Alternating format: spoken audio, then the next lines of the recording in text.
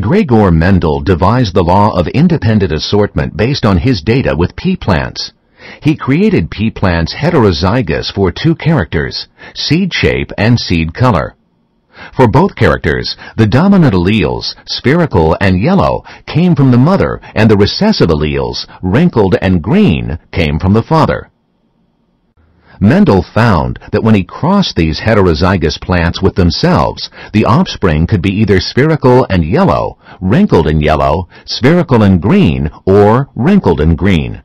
Therefore, he concluded the allele for seed shape was passed down independently of the allele for seed color. Does this principle of independent assortment apply to all pairs of genes?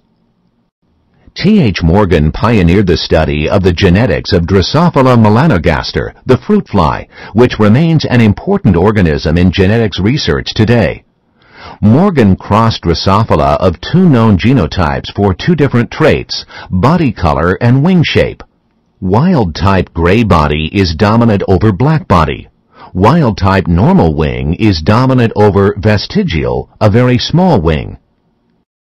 In each cross, the mother was heterozygous for both traits, and the father was homozygous for the recessive trait.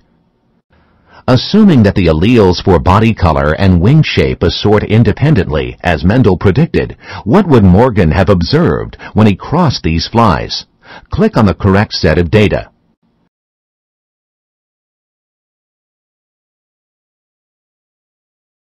Mendel's law predicts equal numbers of each of the four possible types of offspring.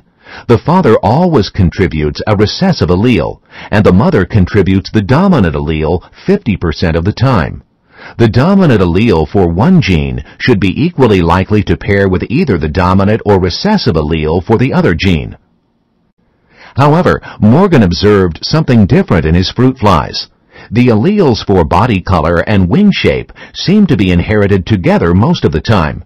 These results made sense when Morgan realized that the two genes are on the same chromosome, that is, they are linked. During meiosis, chromosome pairs line up at the midplane of the cell. When genes are located on different chromosomes, random chance determines which alleles line up and are transmitted together to the germ cell. This is why the traits observed by Mendel appeared to be inherited independently of each other. When genes are located on the same chromosome, they do not line up randomly during meiosis. In Morgan's experiment, the recessive allele encoding black body, little b, lines up with the recessive allele for vestigial wings, little vg, because both are on the same chromosome. Similarly, the two wild-type alleles, big B and big VG, also stay together. The two genes are thus transmitted to the offspring as a set rather than independently. If the genes for body color and vestigial wings are located on the same chromosome and segregate together, what phenotype should Morgan have observed in the F1 generation? Click on the correct data.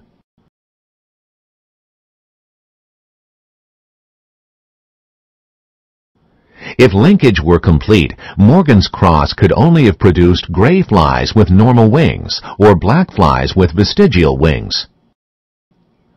Yet this is not what he observed. Some flies were born with gray bodies and vestigial wings, and some had black bodies and normal wings.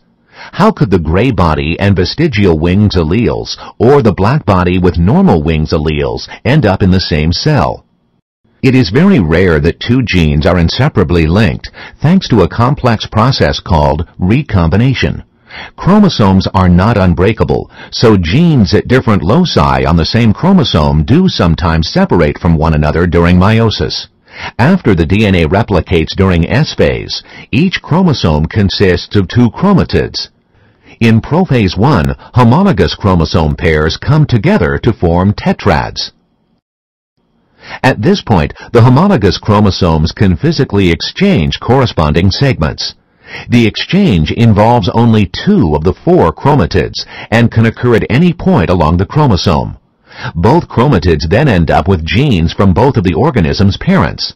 The result is two recombinant gametes from each event of crossing over. Drag the correct labels to the gametes that will produce offspring with a parental phenotype or the recombinant phenotype.